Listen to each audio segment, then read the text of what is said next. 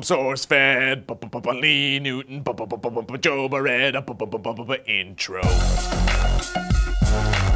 Some of our favorite stories that we've covered over the short life of SourceFed have revolved around the super spacey, super sciencey, and super inspiring Curiosity rover. And if SourceFed can stick around for the next seven years, we'll travel down that fun space path again, but this time with an extraterrestrial bend. NASA's next Red Planet rover will be blasted to our galactic neighbor to search for signs of life, hopefully pointing to current life, but most likely, you know, to prove past life, like back when the planet was warm and wet. Oh, talking about those warm and wet planets, girl? Yeah.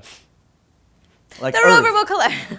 The rover will collect samples from the surface. These samples would be analyzed and cached with the intent to bring them back to Earth. As of now, they're still working on the getting them back part. NASA isn't sure if they're going to come up with a system where the rover somehow blasts them back to Earth, or if the rover just hangs on to them until we send actual humans to the planet. Obama challenged NASA to do so by 2030, so who knows? But right now, we're focusing on the new rover, which is, for all intents and purposes, the old Curiosity rover. Curiosity 2, still curious. Curiosity 2, Revenge of the Rover. Hmm. now, this is 50% because Curiosity went over like gangbusters, especially the landing system, which they're probably going to copy straight across the board, and 50% because of, uh, money, money, money, money!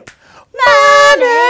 They need to keep everything under their $1.5 billion limit, and copying the old design will help ensure that they stay within their monetary limit. Curiosity Part 2 will, however, be equipped with like newfangled gadgetry and equipment tailored to the mission of finding ancient biology. So obviously we're looking forward to 2020, but if you need to get Mars rocks off before that, there's gonna be two missions heading to Old Red before 2020. One will measure Mars quakes, focusing on how the inside bits of the planet work, and the other one's gonna take deep robot breaths and analyze the atmosphere. So, uh, get ready for a lot of Mars people, all right?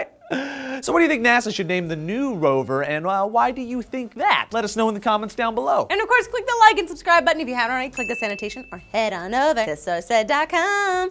Mm-hmm, come. I'll get it. Head on over to sourcefed.com. I'm Lee Newton. I'm Joe Bereta. We'll see you guys later. Bye.